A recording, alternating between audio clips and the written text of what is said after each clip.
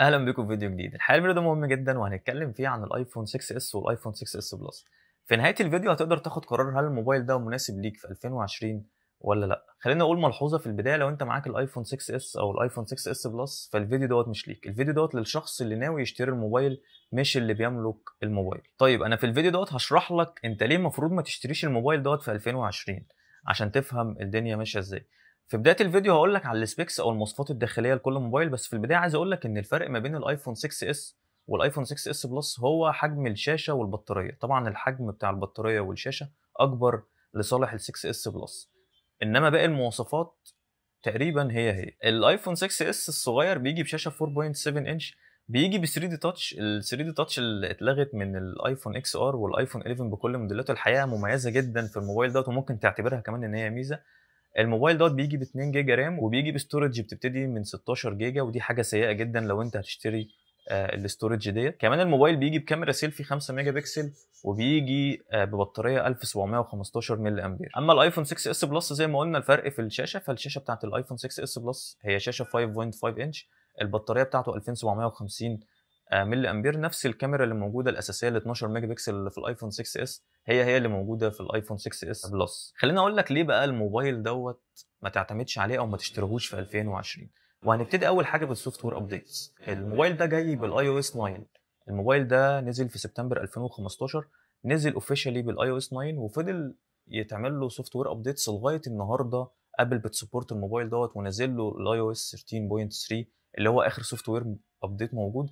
هتلاقي نفس ال software update دوت موجود على الايفون 11 والايفون 11 برو والايفون 11 برو ماكس. طيب ليه دوت عيب؟ لأن في 2020 بنسبة كبيرة ابل هتقفل ال support عن الموبايل ده. فبالتالي آخر update الموبايل دوت هيكون موجود عليه هو ال iOS 13 مش ال iOS 14 والحقيقة ديت حاجة مهمة جدا لو أنت عايز الموبايل اللي معاك يبقى باخر features موجودة من ابل طيب عايز أوضح حاجة بس إن لو ابل قفلت ال software updates أو ال iOS 14 عن الايفون 6 اس ده مش معناه إن الموبايل هيتقفل ومش هينفع تشغله تاني لأ ده معناه إن الموبايل مش هينزل له ال iOS 14 بس الموبايل هيشتغل عادي خالص بال iOS 13.3 طيب نيجي لأهم حاجة في أي موبايل وهي البطارية. زي ما قلنا إن الايفون 6 اس بيجي ببطاريه 1715 ملي امبير أما الايفون 6 اس بلس بيجي ب 2750 ملي امبير البطارية طبعا أفضل لصالح الآيفون 6 إس بلس بس ما تنساش إن الموبايل دوت زي ما هو فيه بطارية أفضل فيه شاشة أكبر.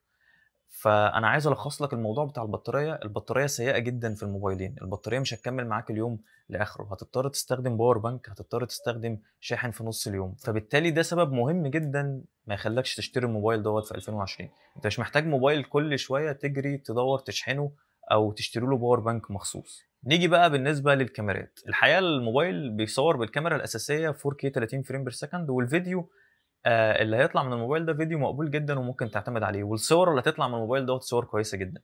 بس في نقط لازم تحطها في اعتبارك. الصور هتطلع كويسة طول ما في إضاءة كويسة. الصور هتطلع كويسة طول ما أنت ما عملتش zoom الصور ناقصها السمارت اتش دي ار اللي موجود في أغلب موبايلات ابل دلوقتي.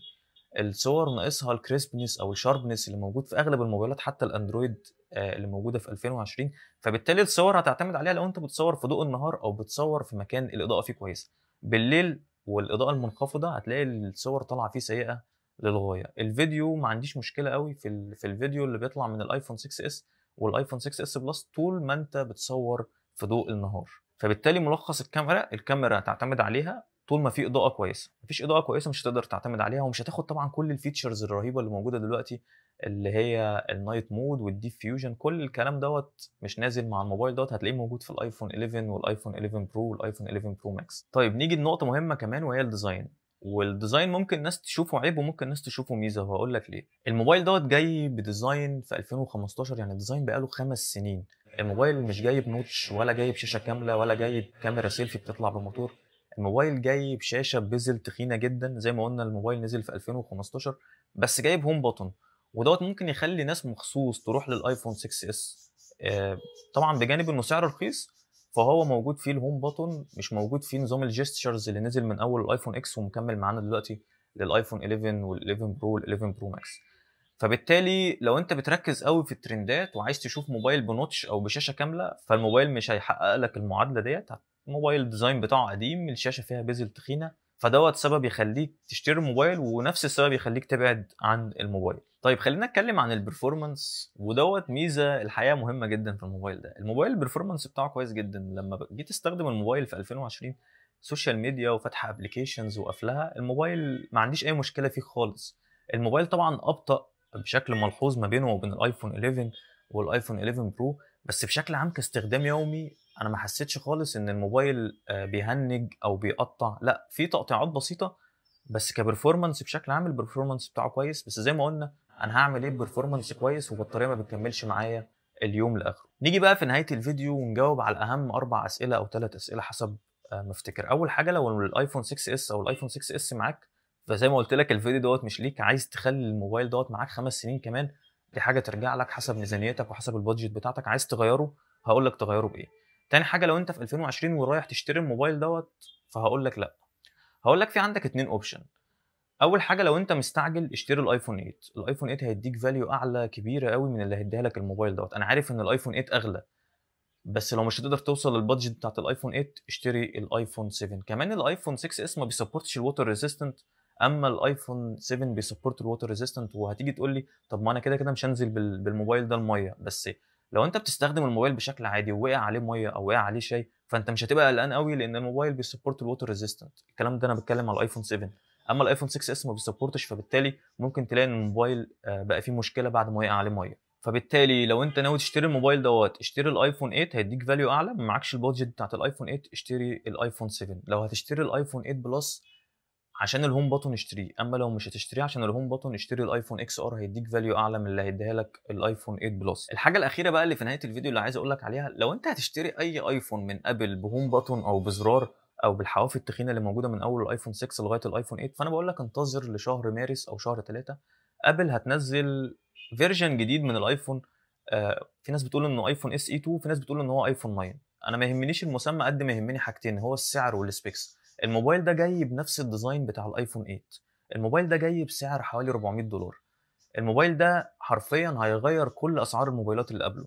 الآيفون 8 سعره هيرخص الآيفون 7 سعره هيرخص الآيفون 6 إس سعره هيرخص. فبالتالي لو أنت تقدر تستنى استنى لما الموبايل دوت ينزل ممكن تشتريه direct يعني ممكن يكون معاك ال 400 دولار وتشتريه direct هيكون أرخص موبايل آيفون موجود.